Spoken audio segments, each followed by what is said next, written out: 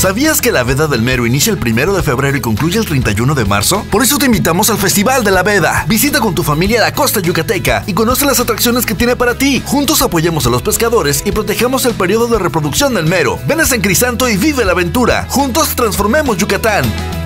Gobierno Estatal 2018-2024.